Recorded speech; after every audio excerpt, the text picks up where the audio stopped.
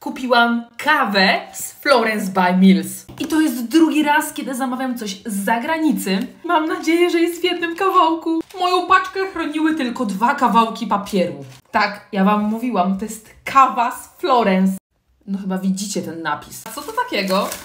Troszkę się poprzekręcały w transporcie, ale to są syropy do tej kawy w plastikowych opakowaniach. Badałam to ładnie i teraz jakoś to wygląda.